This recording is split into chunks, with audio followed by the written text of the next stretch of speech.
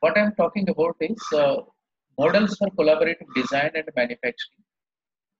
This models for collaborative design and manufacturing, if you look at any typical automobile company, uh, not only typical automobile company, you look at a steel manufacturing company, look at a cement manufacturing company, look at a healthcare companies, look at healthcare supply chains, look at dairy supply chains, look at small, medium enterprises, look at micro, small, medium enterprises, right?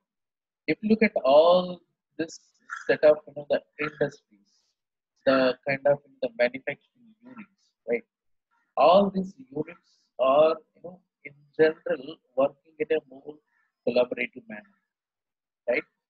So let us say, for example, look at a case of automobile company, right? A typical automobile company, you know, manufactures a car, right? To get manufacture a car, this particular company requires variety of components to get it assembled, right? So to get it assembled, they this particular X company, X automobile company, has to procure all the components from different different you know, the, you know suppliers, right? So how they are trying to procure it is a question. How come it is possible, you know, to see the continuous supply of these components to this particular X, you know, automobile company, right? So this all can happen only with the help of, you know, the collaborative design and manufacturing, you know, uh, practices, right? What is this collaborative design and manufacturing practices, right? This collaborative design typically talks about uh, collaboration, uh, across all the partners who is going to, you know, uh, have a kind of you know the end-to-end you know the solutions right. Because let us say for example uh, take a car a company like you know maruti suzuki. Maruti suzuki is manufacturing variety of cars right? Almost close to you know 17 to 18 variations in the same you know product line right?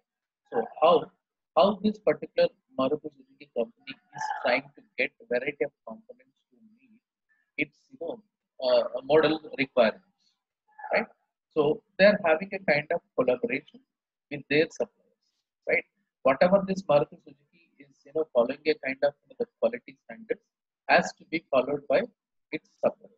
That is what exactly you know, the expected from the suppliers, right? So what is happening? Whatever you know the requirements of this particular Maruti Suzuki company is looking for, the same has to be, you know, manufactured to support this company by the suppliers. Let, let's say maybe it's the tier one suppliers, the tier two suppliers, and the tier three suppliers, right? So as for the measurements, as for the specifications, what is being mentioned by this particular company, Maruti Suzuki, most of the suppliers has to, you know, supply. It all happens only through this collaborative practices. It all only, you know, happens through this, you know, collaborative models, collaborative designs, right? Now, let us see how it is going to happen in real time, right?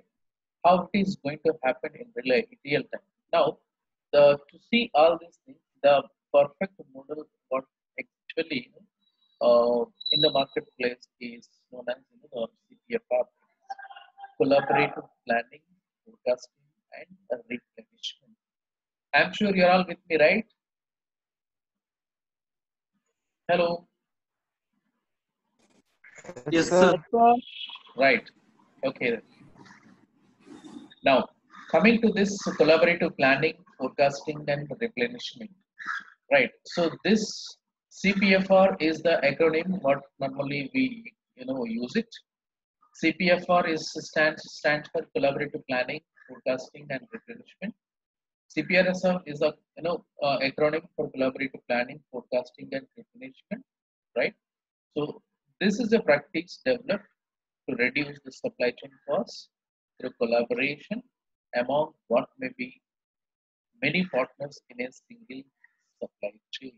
Because uh, if you look at you know a typical you know the dairy supply chain, how a typical dairy supply chain is trying to procure the milk right from the villages, from the farmers, and through various stages, and reaching to the plant, and you know going through variety of another processes, and finally, uh, finally, you know, we are getting the milk. We, in the sense, the end users are getting the milk, right?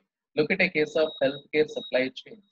How healthcare supply chains are trying to manage its inventory, how they are trying to manage, you know, shipment of products to you know variety of consumers in the marketplace, right? Look at a case of a typical steel manufacturing company. How a steel manufacturing company trying to you know procure the raw material from variety of sources, right?